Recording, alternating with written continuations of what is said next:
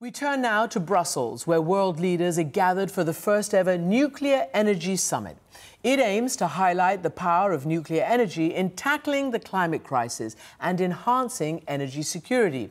Our next guest, Director General of the International Atomic Energy Agency, Rafael Grossi, co chaired the event, which is more urgent than ever given the wars and tensions that are happening around the world, such as Putin's invasion of Ukraine and willingness to conduct military operations that threaten the massive nuclear power plants there. Just before the summit, Walter Isaacson spoke to Rafael Grossi about these serious safety concerns. Thank you, Christiane and Rafael Grossi. Welcome back to the show. That's my pleasure. Hello. You recently met with uh, Russian President uh, Putin about the Zaporizhzhia uh, nuclear power plant in Ukraine. It's one of it's the largest, I think, in Europe, and Russia controls it. What were your concerns, and what did President Putin say to you? Well, you know, this is part of my efforts, ongoing efforts, in fact, since the plant uh, was, you know, came under the control uh, of the Russian Federation.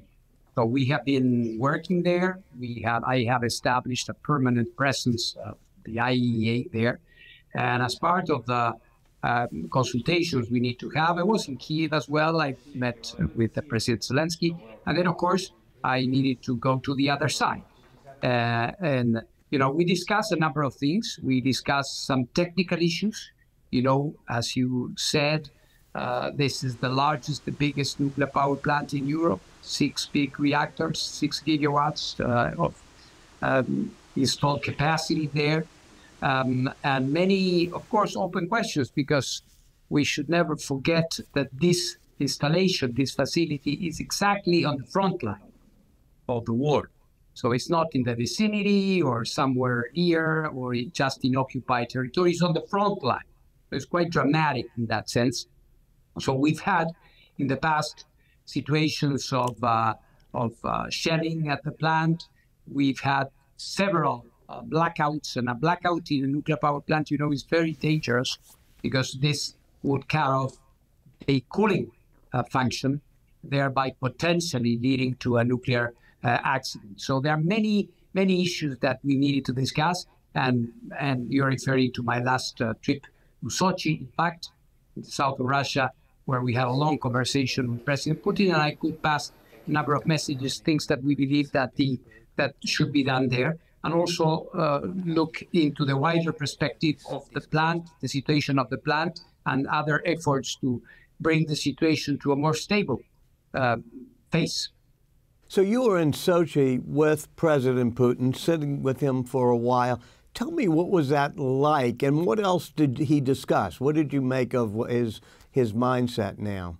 Well, I must say it's not my first time with him. Uh, since the war started, I was I had a year ago, more or less, another long meeting in St. Petersburg. And uh, these meetings, I must say, objectively speaking, speaking are very uh, professional, very focused. He has a very, uh, you know, good understanding of uh, uh, nuclear technology. So it is possible to have a, a very, very, very focused conversation of uh, specific um, issues uh, related to the functioning of the plant, and also some others that are of a more general nature related to the situation there, the military situation around the plant, uh, and so on. So uh, it was, I would say, yes, it was it was a very very pointed and very meticulous technical conversation. You say he's very good at the technicalities of understanding the nuclear plant. How convinced are you that he would absolutely want to make sure there was no big accident at that plant or any of the others in Ukraine? Well, you know, it's a bit of a speculation, isn't it? But I, for me, one very basic, even one could say, uh, common sense rule tells us that a nuclear accident there would benefit no one Ukraine, Russia, or the rest of Europe. So it, it is in this sense for me for my job it is um, it is easier to convince the leaders to do certain things or not to do other things in order to avoid situations that could scale up to uh, some confrontation um, around the plant, which would be, of course, extremely dangerous. A year ago, when you were talking to Christiane Amanpour on this show, you talked about trying to establish a zone of protection around okay. the plant. How's that going? Well, I, that approach changed.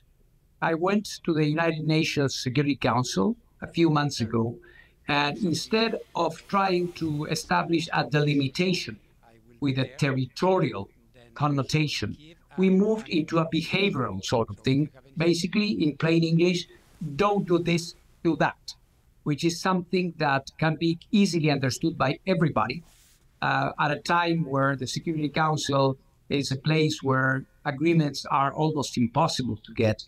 I got um, widespread, if not absolute support for this, which was not a proposal by the Russians or from the Ukrainians. It was something that the DG of the IAEA was saying this is what we need to do now if we want to avoid a nuclear accident. So it's a very clear set of criteria that need to be observed.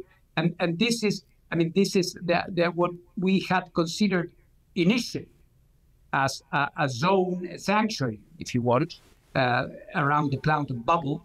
Um, this, as I was saying, uh, at the front lines of a war is very, very difficult uh, to obtain military commanders on one hand, on the one side or the other, will very, you know, it will be very difficult to convince them to uh, not to operate there, to move there, to, to do certain things. So I shifted my approach into certain things that needed to be avoided at all, at all costs. And of course, I don't want to jinx it, but so far we have been able to avoid the rest.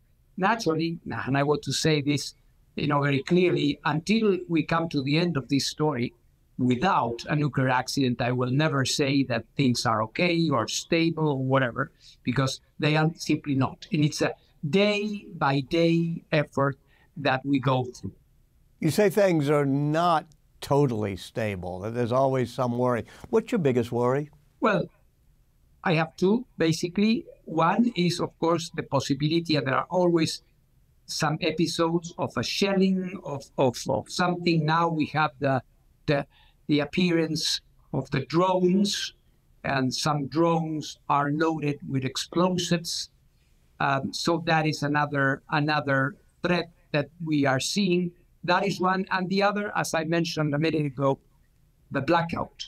So the possibility that the station is without any power, any external power supply for a long period of time, then the emergency generators run out of fuel and then you have a meltdown. So that those scenarios are not impossible, uh, and this is uh, what we need to to avoid. And this is why we have our team there, a team of experts who is there, who is living there, uh, informing us by the minute what is the situation. You may have noticed that from Zaporizhzhia, you very rarely get fake stories or strange stories, and it's because the IAEA is there. So we can say exactly what is happening. If somebody says we are being attacked or whatever, or the contrary, uh, fire is coming from the station, I have my guys there.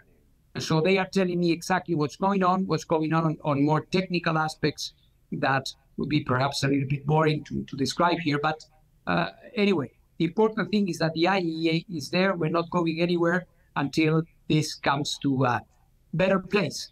You say that experts from your agency are there. I think you've done a couple of rotations in the plant. What do you do when you're there? What's it like? Well, there normally what we do is uh, when, when, I personally go, the people there they, they have a daily routine. They go through, you know, um, uh, a nuclear power plant, especially one with six reactors. It's a huge site, very very big site.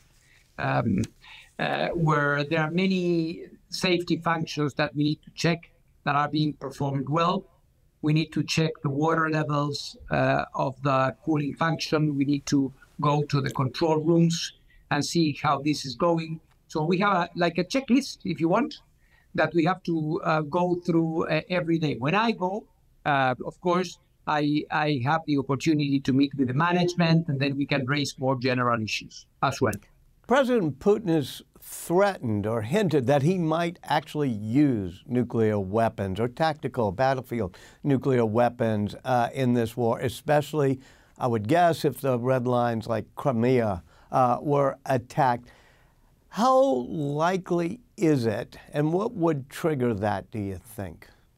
Well, you know that the use of nuclear weapons by the five uh, countries that are legitimate possessors of nuclear weapons, basically the five permanent members of the Security Council, including the United States, according to the Treaty on Non-Proliferation of Nuclear Weapons. These countries have these, these nuclear weapons, and what these countries normally have is a doctrine, certain principles, scenarios, according to which they would resort to using nuclear weapons. Uh, normally, they are not so dissimilar, I would say. And normally they are associated with the obvious things, you know, being attacked with nuclear weapons, or in a more, I would say, general sense, uh, being under an existential threat that would make the possessor of a nuclear weapon uh, uh, use it. Um, so uh, this is the situation. This is valid. This has been reiterated by, by all. At the same time, I, I wish to remind that these same countries said and repeated that uh, famous old formula that I think was uttered by uh, Secretary General Gorbachev and President Reagan that a nuclear war um, can never be won and must never be fought. So if you unleash a nuclear conflict, the, the logic of it could very easily uh, lead us to total destruction. So um, my impression is that there will be restraint. Of course, there are some uh, statements uh, which are regrettable. I would not get into that, of course, as head of an international organization. But what I'm giving you is the parameters, the parameters that do exist and that we hope will be respected. When you talk about those parameters, you just said something, which is if the country faces an existential threat, meaning a threat to its existence, do you think Crimea is an existential issue for uh, Russia? I wouldn't go into that. First of all, Crimea is an occupied territory, of course, according to international law. Um, so, um, frankly speaking, for me to indicate what could be the point where Russia would resort to nuclear weapons would be imprudent. Um, I would simply say nuclear weapons have no place in general, but in particular, in, in particular, in this conflict, um, I don't see them uh, being used. I hope this will be the case.